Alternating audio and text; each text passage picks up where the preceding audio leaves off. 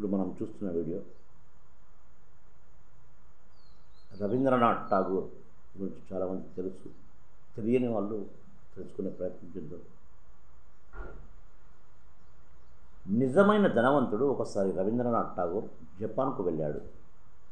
ఆయన రాసిన గీతాంజలి పుస్తకంపై ఓ పది రోజుల పాటు రోజు సాయంత్రం ఆరు నుంచి ఏడు వరకు ప్రసంగించేవాడు ఆ ప్రసంగం వినడానికి ఓ వృద్ధుడు క్రమం తప్పకుండా వచ్చేవాడు.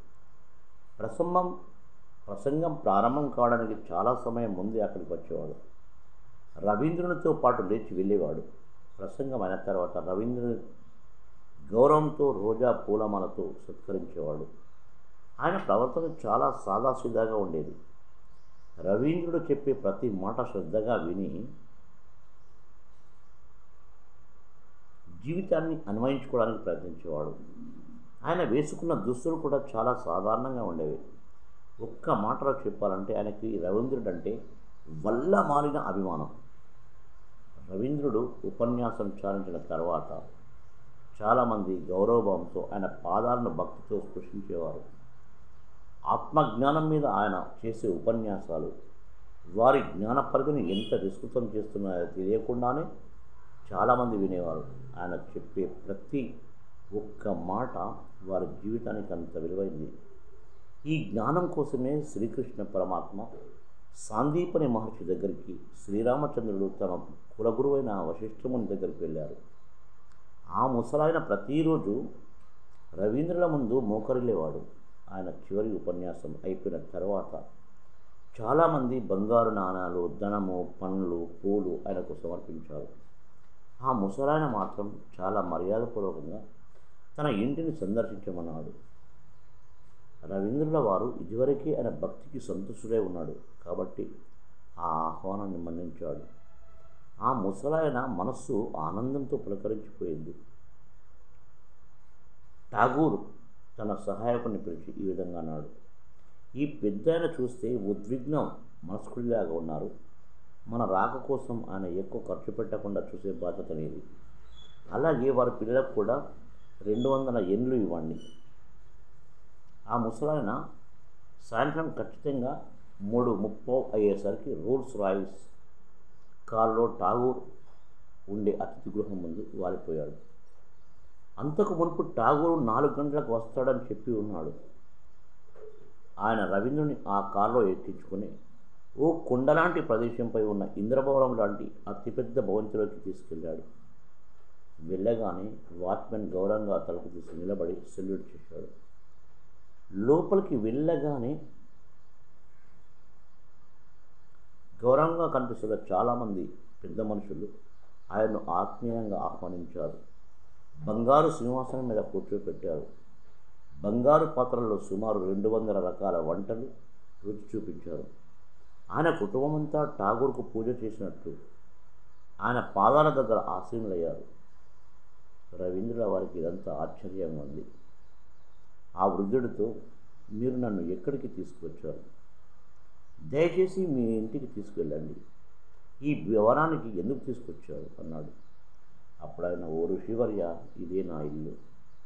ఈ కార్లు ఈ బంగళా అన్నీ నావే. నీ ముందు మోకరిన వారు అంతా నా భార్య పిల్లలు కోడళ్ళు అల్లుళ్ళు మన్మన్లు మన్మరాన్లు. నాకు రెండు కర్మాగారాలు ఉన్నాయి ఓ అయితే మీరు ఇంత ధనవంతులై ఉండి కూడా నా దగ్గరకు వచ్చేటప్పుడు అతి సాధారణంగా వచ్చేవారు. ఎందుకో తెలుసుకోవచ్చు? అని అడిగాడు రవీంద్రుడు స్వామి భౌతిక సంపదలు నిజమైన వ్యక్తిత్వానికి కులమానాలు కావు. నాకింత ధనం ఉందని గర్వంగా చెప్పుకోవడం కేవలం మూర్ఖత్వం. ఆ ధనం ఎంత పోసినా ఆత్మానందాన్ని కొనలేము. మనకున్న సంపద ఎప్పుడు ఎలా కరిగిపోతుందో ఎవరికీ తెలియదు. అలాగే ఎల్లప్పుడూ తన సంపాదనలు కాపాడుకోవడానికి ఆలోచిస్తుండేవాడు తన గురించి తాను ఆలోచించడానికి సమయం ఉండదు. ఈ ప్రపంచం దాటితే ఆ సంపదలకు విలువ ఉండదు. అమూల్యమైన ఆత్మజ్ఞానంతో పోలిస్తే ఈ సంపదలంతా చాలా చిన్నవి. ఈ సంపదలు నాకు కష్టాలు కొనితెచ్చి పెడుతుంటే మీరిచ్చిన జ్ఞానం నాకు అత్యంత సంతోషాన్ని ఇస్తుంది. నా జీవితం అంతా మీకు కృతజ్ఞతగా ఉంటాను. ఇప్పటిదాకా సిరి సంపాదే జయంగా బతికాను. అవేవి నాకు సంతోషాన్ని ఇవ్వలేదు. మీరు చెప్పిన ప్రతి మాట నా అజ్ఞాన తొలగించాయి. నేను మామూలు దుస్తులు వేసుకొని మీ దగ్గరకు రావడానికి కారణం జ్ఞాన సమపార్జనలో మీ దగ్గర నేను ఒక యాచకుని మాత్రమే అని సూచించడానికి. మీ సమక్షంలో నేను ఎంత సంతోషంగా ఉన్నాను ఈ మాటలు వినగానే రవీంద్రుల వారి హృదయం ఆనందంతో ఉప్పిపోయింది. కాబట్టి ఎక్కడైతే నిజమైన విద్యకు విలువ ఉంటుందో అక్కడే జీవితానికి గౌరవం ఉంటుంది.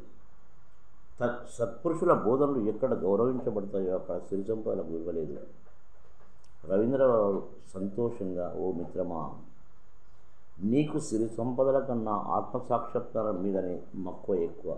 నువ్వు నిజంగా ధనవంతుడవే. నీలాంటి శిష్యుని కలుసుకున్నందుకు నాకు ఈరోజు చాలా సంతృప్తిగా ఉంది. నా బోధనలకు సార్థకత చేయకూడదు నేను ఎక్కడికి వెళ్ళినా జనాలు భౌతికమైన సుఖ సంపదల కోసం అడుగుతూ అమూల్యమైన సమయాన్ని వృధా చేసేవారు.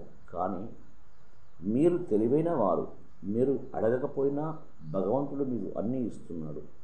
మీ జ్ఞానతృష్ణను తీర్చడానికి నన్ను భగవంతుడు ఇక్కడికి పంపినట్టున్నాడు అని ఆయన దగ్గర సెలవు తీసుకున్నాడు. ప్రతి మానవుడు కూడా ఒక్కసారి ఈ వీడియో చూసి ఎంత ఉన్నా ఆత్మసాక్షాత్మారం ఆనందం లేని అంతా వృధా. ఈ వీడియో చూస్తే కానీ అర్థం కాదు. ఈ వీడియో దయచేసి ఖచ్చితంగా చూడండి. సమయం ఉన్నప్పుడు మాత్రం ఇలాంటి వీడియోలు దొరికాయి. మామూలు విషయం కాదు. ఇంత మంచి సబ్జెక్టు దీంట్లో పొందుపరచడం జరిగిందంటే రవీంద్రనాథ్ ఠాగూర్ అంత జ్ఞాని కూడా కేవలం మనం పట్టుకున్న విధానం చూసి మెచ్చుకున్నాడు అంటే ఆయన ఎలా ఉన్నాడు? అంత ఉండి కూడా మరి అంత ధనవంతుడై ఉండి కూడా. కాబట్టి ఈ వీడియోని ఖచ్చితంగా చూడండి. లైక్ షేర్ కామెంట్ సబ్స్క్రైబ్ ఖచ్చితంగా చేయండి. థ్యాంక్ యూ ధన్యవాదాలు.